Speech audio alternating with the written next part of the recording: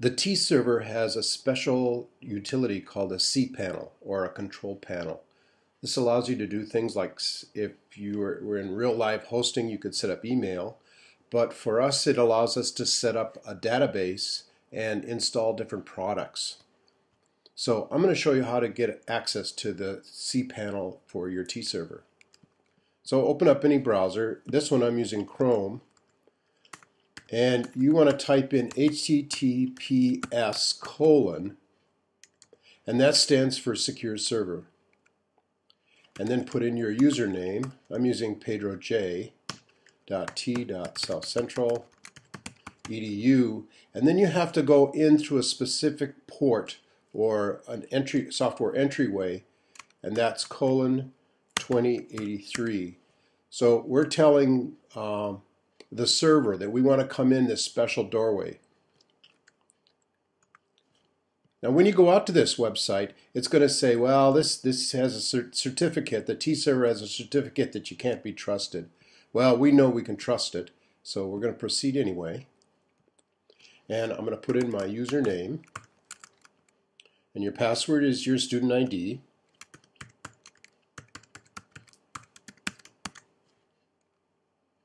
And I'll log in.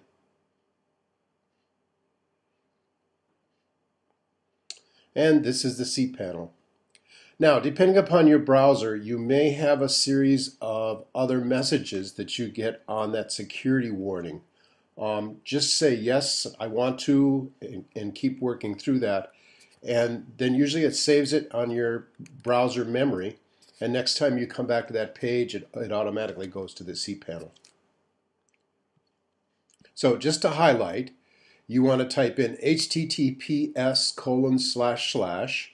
Now the reason Google makes this uh, red is because we said that it's it's well are going to accept it, but it's not a secure site. Um, then your username t.southcentral.edu and then the doorway we want to go in is doorway 2083. And then this brings us to our cPanel. And you can see there's lots of different tools and different things you can do. In the next video, what we're going to be doing is making a new database. And then later on, if we need to look at our databases, we'll look at phpMyAdmin, which is a really nice tool to show you what databases look like. Most of this stuff you won't want to mess around with until you get further training or have a specific need. But keep in mind that this cPanel that we have on the T server is this uh, similar cPanel is available on Bluehost and a multitude of other hosting services.